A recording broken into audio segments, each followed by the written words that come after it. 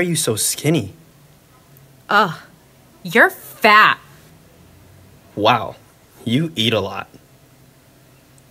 Do you even eat? You're not even that pretty. Should I lose weight?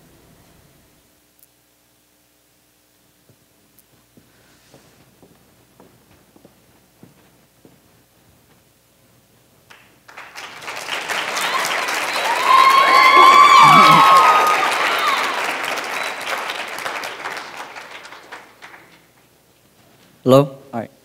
The statements you just heard are thoughts which runs through a person's mind who has a negative body image.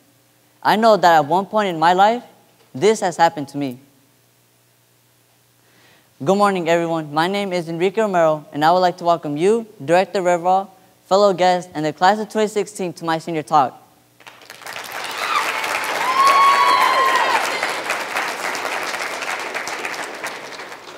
Today, I'm going to be speaking to you about my quest on helping others lead a healthy lifestyle. But before I do that, I want to share with you all why I decided to choose this topic. It all started back in middle school. I wasn't very confident in myself at the time, and every time that I looked at every time I looked at myself in the mirror, I would think that I was too skinny and was insecure about my body. I knew that it was something that I wanted to change about myself, but at the time I didn't know how to. One of the reasons that has led me to view myself so negatively was the fact that I was made fun of for being skinny.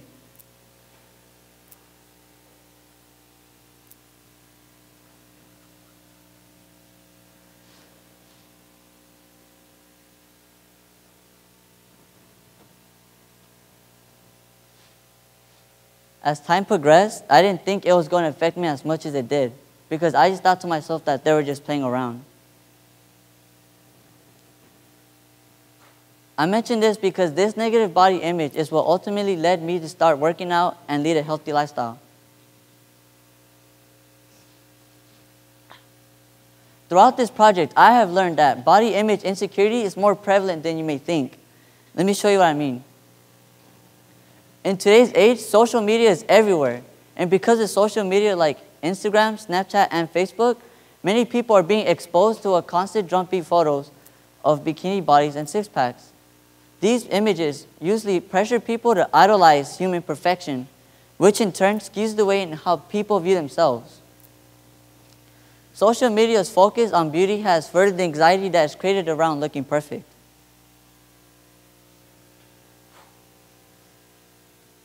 According to a recent study, teens who are active online tend to worry about how others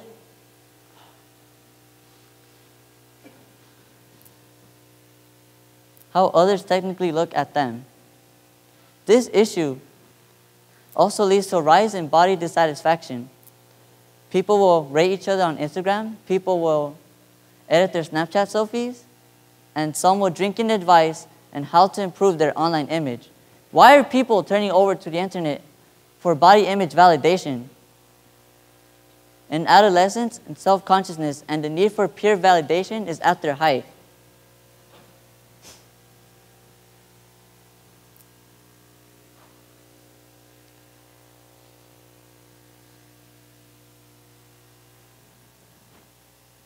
Now, let's go back to the reason why we're here. As I mentioned before, I was made fun of for being skinny. The laughter and jokes is what made me view myself in a negative way. But instead of letting that get to me, I decided to do something about it. That's when I decided to start working out. Now, at first, I was a little apprehensive because I was worried that I might not be too good at it. But to my surprise, it started off pretty well. And as time passed, working out has become more and more of a passion to me.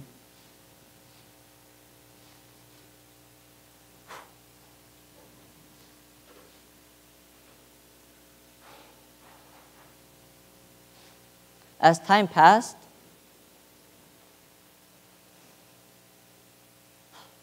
as time passed to become more fitness conscious has evolved, and I have learned more knowledge on fitness. But I've also found someone who has encouraged me throughout my journey. That man is Mr. Lake. Thanks to him, I have changed both physically and mentally. Thanks to him, I've been able to get rid of those negative images that I had of myself back, back then.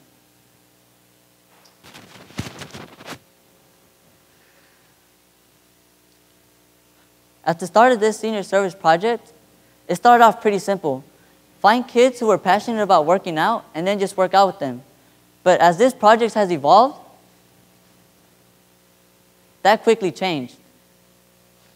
I realized I can do more with my senior service project.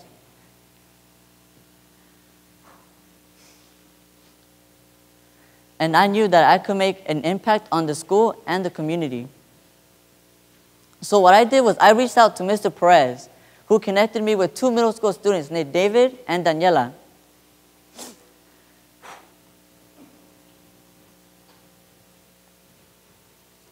The goals that I set for them was to not only learn how to work out efficiently, but to also understand how the food we eat affects our bodies. Of course, we had many talks about how bad junk food is, including all those hot Cheetos we all love and enjoy.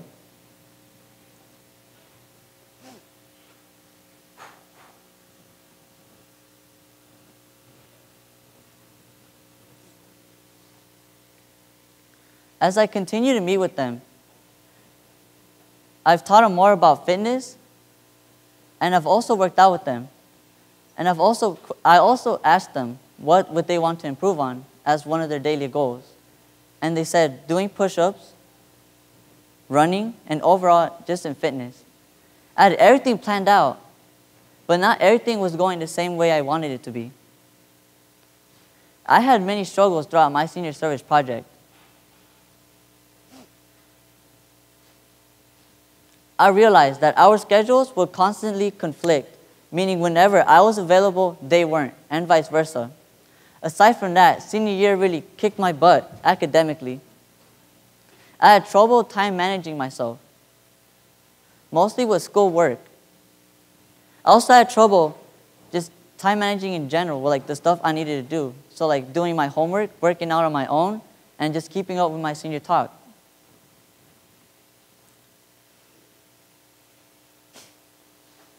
And that was just small, it was just a small idea of what my problems were.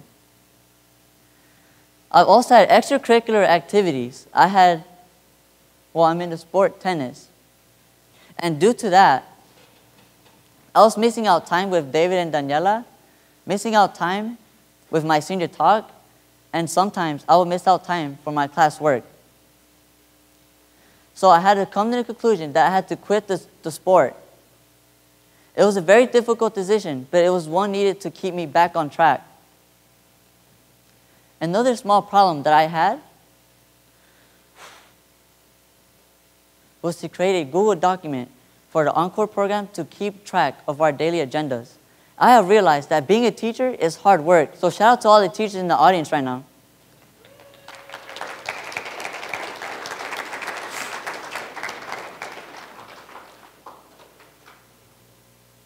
As weeks passed, many students were interested in working out and learning more about fitness. Through our meetings, the students here at GPA want to learn, uh, want to learn how to work out and learn more about fitness, but they may not know where to start. But thankfully, we have strength and conditioning, a place where many students can come together and work out. With the help of Mr. Perez, I have been able I have been able to help and assist, assist and support strength and conditioning, as well as many other middle schoolers that were there that have the same passion as I do, which is to lead a healthier lifestyle.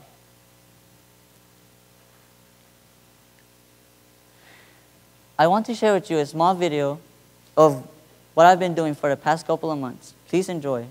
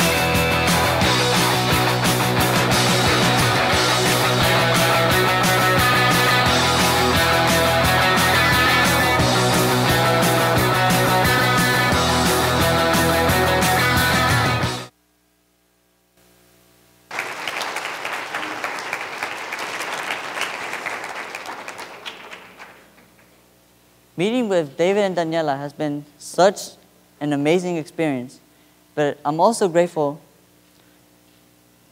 No, I'm also happy for um, for all the time and effort that I've put in. I realized it was actually rewarding. But I've also had the chance to work with two middle school students who, before my senior talk, I probably wouldn't even have met.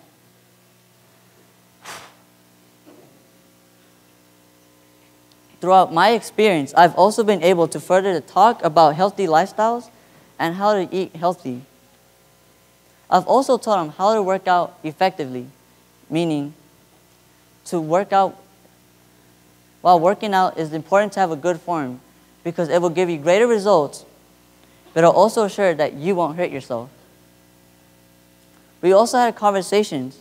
One day we spoke about how much sugar an energy drink contained, and having those talks really made my senior presentation fun.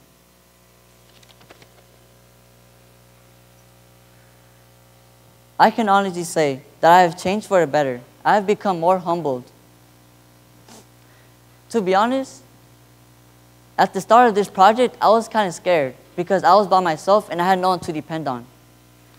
But as time passed, I realized that this was a good thing because it made me more organized, more communicative, and more independent. And overall, it made me much hard.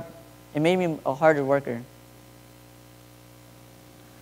At one point in senior year, the stress was so bad it just made me want to give up on this project.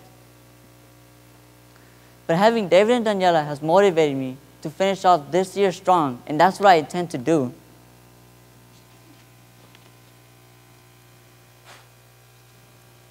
The passion in this project is extraordinary. What I wanted to do was diminish those negative thoughts through exercise and healthy eating. A student once said, a student said that she wanted to change, she wanted to work out with me because she wanted to change the way she looks. I realized that the work I was about to do was very important. And I wanted to change the way that she felt about herself.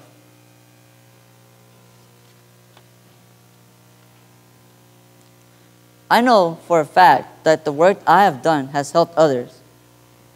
I have been able to, to further the focus on health and fitness in our community. I've also been able to shed the light on how people view themselves. As director once mentioned in one of his college classes, how can you love someone when you can't love yourself?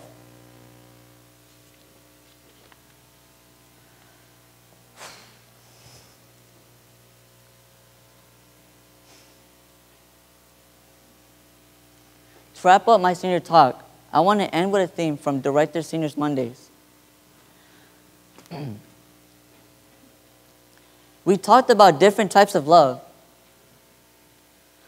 And the one that really stuck out to me was philautia love. If you do not know what that is, it is self love. It's important to love yourself because once you love yourself, you accept who you are. I want to end this senior talk on a positive note. So thank you for coming. This concludes my senior talk.